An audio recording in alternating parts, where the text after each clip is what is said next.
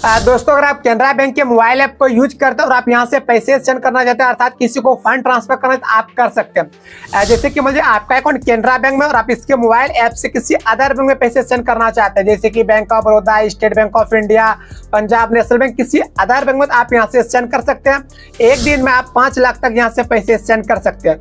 तो कैसे पैसे सेंड कीजिएगा? पैसे सेंड करने के लिए आपको कितना चार्जेस पे करना होगा? आपको इस वीडियो में कंप्लीट इन्फॉर्मेशन मिल जाएगा तो वीडियो को एंड तक बात कीजिए।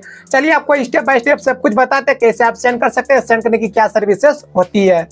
तो इसके लिए सबसे पहले आपको कैनरा बैंक के official mobile app Canara A I one को डाउनलोड करना होगा। उसके बाद इसका रजिस्ट्रेशन भी करना होगा। आप रजिस्ट्रेशन कैसे कीजिएगा ऑलरेडी हम डिटेल पूर्वक वीडियो कर दिए लिंक आपको डिस्क्रिप्शन बॉक्स में मिल जाएगा। उसके बाद यहाँ से आपको अपना एम पिन डाल करके इसमें आपको लॉग इन कर लेना होगा किसी को पैसे सेंड करने के लिए।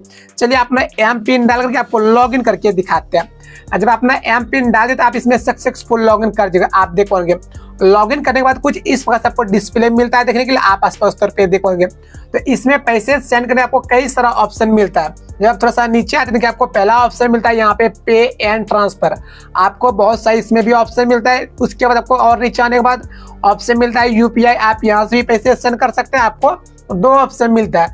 अगर आप यूपीआई का इस्तेमाल करके किसी को पैसे सेंड करना चाहते हैं आप बहुत ही आसानी के साथ कर सकते हैं। आपको इसमें कई सारा ऑप्शन मिलता है। तो इससे पहले आपको इसका रजिस्ट्रेशन करना होगा। रजिस्टर करने का आपको ऑप्शन मिलता है रजिस्टर का। जैसे आप इसके ऊपर क्लिक कर देखिए आपको नीचे पहले रजिस्टर करना होगा। तो रजिस्टर करने आपको ओके के ऊपर क्लिक कर लेना जैसे आप यहाँ ओके के ऊपर क्लिक करते हैं यहाँ से आपका यूपीआई सक्सेसफुल रजिस्टर हो जाएगा। आप देखोगे ये रजिस्टर हो रहा है। आपको कुछ सेकेंड वेट करना होगा। तो ये सक्सेसफुल आप देखिए रजिस्ट्रेशन हो चुका हमें मैसेज भी मिल गया तो आपका यहाँ से ऑटोमेटिक रजिस्ट्रेशन हो जाएगा। उसके बाद पैसे सेंड करके देखिए, आपको ऑप्शन मिलता है scan and UPI QR code अर्थात किसी को यहाँ से स्कैन करके पैसे सेंड कर सकते हैं। जैसे आप उसके ऊपर क्लिक कीजिएगा तो आपसे यहाँ से परमिशन मांगा तो आपको परमिशन को अलाउ करना होगा, उसके बाद यहाँ से स्कैन होना स्टार्ट हो जाएगा तो आप क्यूआर कोड को स्कैन करके पैसे सेंड कर सकते हैं। उसके बाद अगर किसी अगर कोई व्यक्ति फ़ोन पे, गूगल पे चला रहा है तो आप यहाँ से उसको डायरेक्टली पैसे सेंड कर सकते हैं बोला है send money to any UPI app जैसे आप इसके ऊपर क्लिक करते हैं, उसके बाद पहले आपको ऐसे यूपीआई आईडी डालना होगा, फ़ोन पे, गूगल पे का जो भी उनका यूपीआई होगा तो आप, जैसे उनका यूपीआई डालेगा या फिर उनका नंबर डालेगा, जिस नंबर से वो फ़ोन पे चला रहा है तो ऑटोमेटिक यहाँ पे आएगा। चलिए आपको एक नंबर डाल करके दिखा देते हैं। तो जैसा कि आप देख पा हम एक नंबर डाल दिए। इस नंबर से कौन सा यूपीआईडी बना हुआ है? यहाँ पे ऑटोमेटिक दिखा दिया उसके बाद क्या नाम है? वो नाम ऑटोमेटिक आ गया। तो पैसे सेंड कर आपको नीचे में आपसे मिलता है। कन्फर्म का आप इस कन्फर्म पर क्लिक करके उसके बाद देखिए बोल रहा है इंटर अमाउंट आप कितना पैसा सेंड करना चाहते हैं? जैसे कि हमें एक सौ रुपया सेंड करना है जैसे एक सौ रुपये को इंटर कर देंगे। उसके बाद आपका ये वाला अकाउंट है कैनरा बैंक का, इसी अकाउंट से पैसा कटेगा। या फिर देखिए, मेरा एक और अकाउंट है, इससे कटाना चाहिए हैं हम इसको भी सिलेक्ट कर सकते हैं। हम फ़िलहाल इसको एक्टिवेट करके रखे हुए हैं। उससे कटना चाहते हैं, इसको सिलेक्ट करेंगे, नीचे में ऑप्शन मिलेगा नेक्स्ट का नेक्स्ट ऊपर क्लिक कर लेंगे। उसके बाद फिर से एक बार कन्फर्मेशन के लिए पूछ रहा है तो आप एक बार अपना डिटेल मैच कर दिए नीचे में आपको ऑप्शन मिलता है कन्फर्म पर कन्फर्म पर क्लिक कीजिएगा। परमिशन मांगा तो परमिशन देंगे, उसके बाद आपको अपना यूपीआई पिन डालने के लिए कहा जाएगा तो आप अपना यूपीआई पिन डालिएगा।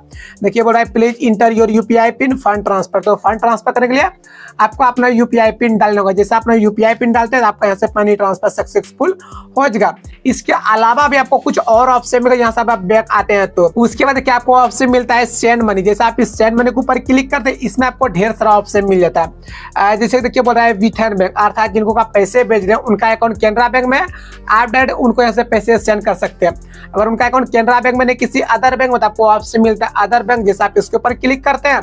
तो देखिए, मेरा पहले से एक बैंक अकाउंट ऐड है। पहले आपको ये सब बैंक अकाउंट ऐड करना होगा, उसके बाद आपके सामने ऑटोमेटिक आ जाएगा। ऐड करेंगे नीचे में आपको ऑप्शन मिला, देखिए ऐड बेनिफिशियरी जैसे आप इसके ऊपर क्लिक करते हैं देखिए बोल रहा है कि आप कौन सा अकाउंट ऐड करना चाहते हैं? आपको कई सारे ऑप्शन मिलता है। कैनरा बैंक का मतलब विथन बैंक, उसके बाद अदर बैंक अदर बैंक को करना चाहते हैं, इसके ऊपर क्लिक कीजिएगा, इसमें आपको कुछ डिटेल फिलअप करना होगा। देखिए बोल रहा है अकाउंट नंबर फिलअप करने के लिए उसके बाद इंटर अकाउंट नंबर उसके बाद किस बैंक में आपका अकाउंट है, कौन सा अकाउंट नंबर में डाले, जिस भी बैंक का आप डालेंगे, उस बैंक को यहाँ सिलेक्ट करके आपको सभी बैंक का देखिए नाम यहाँ पे आ जाएगा। उसके बाद उस बैंक का क्या एफ़ कोड आपको एफ़ कोड डालना होगा, नीचे में आपको ऑप्शन मिलता है बेनिफिशियरी नेम तो बेनिफिशियरी नेम डालना होगा, उसके बाद निक नेम डालना होगा। नीचे में आपको ऑप्शन मिलता है कन्फर्म आप कन्फर्म पर क्लिक करते हैं। उसके बाद आपके रजिस्टर मोबाइल नंबर पे ओटीपी आता है। ओटीपी डालने के बाद ये आपका अकाउंट ऐड सक्सेसफुल हो जाएगा। जब आपका ऐड हो जाएगा तो उसके बाद यहाँ से आपका अकाउंट शो होना स्टार्ट हो जाएगा। उसके बाद पैसे सेंड करेगा आपको जस्ट इसके ऊपर क्लिक करना होगा अकाउंट के ऊपर। जैसे अकाउंट के ऊपर क्लिक करते हैं फिर से देखिए बता रहा है इंटर अमाउंट कितना पैसा सेंड करना है, एक सौ रुपया, एक सौ को डाल देंगे। आप अपने अकॉर्डिंग जितना भी सेंड करना हो, आप डाल दीजिएगा। उसके बाद आपको ऑप्शन मिलता है M P S N F T R T G S आप जिस भी ऑप्शन का इस्तेमाल करके पैसा सेंड करना चाहते हैं, आप कर सकते हैं। एमपीएस तो एमपीएस को सिलेक्ट करेंगे एनईएफटी तो एनईएफटी को सिलेक्ट करेंगे आरटीजीएस तो आरटीजीएस को सिलेक्ट करेंगे। और देखिए, यहाँ बता रहे कि पाँच लाख रुपया पर डे ट्रांजेक्शन कर सकते हैं। इस एप्लीकेशन से आप इसका इस्तेमाल करके एमपीएस का इस्तेमाल करके एनईएफटी और आरटीजीएस देखिए, सभी में आपको पाँच लाख लिखा हुआ मिल जाएगा। एमपीएस से कीजिएगा तो आपका पैसा इंस्टेंट में जिनको भी भेज रहे उनके अकाउंट में चला जाएगा। एनईएफटी में आपको लगभग दो से तीन घंटे टाइम लग जाएगा और आरटीजीएस में भी आपको थोड़ा सा टाइम लग जाएगा। यहाँ से हम एमपीएस को सिलेक्ट कर लेंगे। उसके बाद नीचे में ऑप्शन मिलता है आपको नेक्स्ट का नेक्स्ट ऊपर क्लिक कर लेंगे। उसके बाद फिर से आपको कंफर्मेशन के लिए बोला जाएगा। तो आप अपना डिटेल मैच कर देगा तो पैसे सेंड करें देखिए, बोल रहा है कि आपको एमपीएस चार्ज पाँच रुपया नब्बे पैसा सेंड करना।